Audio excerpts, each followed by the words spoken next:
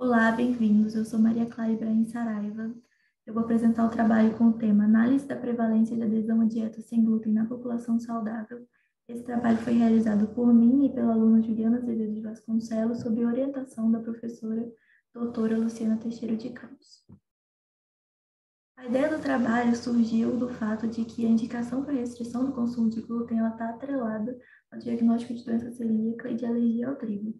Ainda assim, tem se observado na população saudável o aumento da adesão a essa dieta. Isso pode estar acontecendo por dois motivos.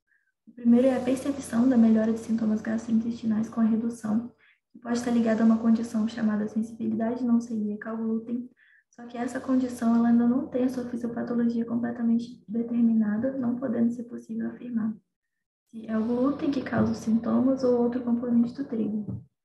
Outro motivo é a busca pelo emagrecimento e a crença em que alimentos saudáveis, os alimentos sem glúten são mais saudáveis, e isso é incentivado pela mídia. Com base nisso, o objetivo principal do nosso trabalho foi analisar a prevalência de pessoas que fazem a dieta com restrição de glúten sem diagnóstico médico ou orientação por outro profissional e sem investigação prévia. Além disso, a gente buscou traçar o perfil epidemiológico dessas pessoas, entender a motivação por trás da adoção da dieta e investigar se eles conhecem os efeitos deletérios dessa conduta.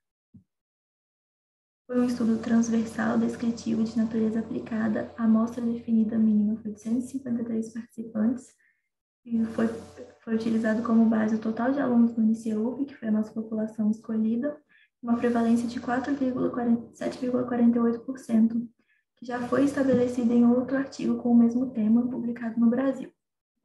A coleta de dados foi realizada por meio de um questionário que foi enviado para os participantes por meio de redes sociais. Agora os resultados. Foi possível estabelecer a prevalência de 9% da adesão à dieta na população saudável. Essa prevalência é acima da prevalência esperada, inclusive a mais alta quando comparada com outros países da América Latina, com exceção do Chile, que apresentou uma prevalência de 16,4%. Com relação ao perfil epidemiológico, foi possível ver que 80% eram mulheres e 30% entre 19 e 20 anos. Quando a gente observa a indicação para adesão à dieta, dá para perceber que uma porcentagem expressiva de 40% realiza dieta por conta própria, ou seja, sem indicação médica ou de outro profissional. Quando se avalia a motivação, isso também corrobora com as hipóteses da pesquisa, porque as principais razões para adesão à dieta é o desejo de emagrecer e a crença de que alimentos sem glúten são mais saudáveis. Uma porcentagem menor colocou a motivação principal como a percepção de sintomas digestivos. Quando se avalia essa presença de sintomas com o consumo do glúten, 50% relatou esses sintomas e 100% falou que apresentou melhora após iniciar essa restrição.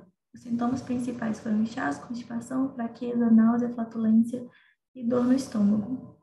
É, apenas 1% relatou, relatou o aparecimento de um novo sintoma após a restrição. Esse sintoma foi acne severa. Por fim, a gente vê que os objetivos do trabalho foram alcançados, foi possível definir a prevalência de 9%, foi possível identificar o maior fator de influência na tomada de decisão da adesão à dieta, que é o desejo de perder peso e a busca por uma alimentação mais saudável, e foi possível identificar quantos por cento fazem dieta sem indicação médica, chegando a uma porcentagem de 40%. Além disso, foi identificado uma porcentagem de participantes que de fato apresentam sintomas como o consumo de alimentos com glúten e que observam melhora com a restrição. E assim é importante a realização de mais estudos voltados para a investigação e diagnóstico da sensibilidade ao glúten não celíaca. No futuro, também é importante a realização de novos estudos para identificar os possíveis efeitos deletérios dessa dieta nesses participantes que não estão fazendo o acompanhamento médico.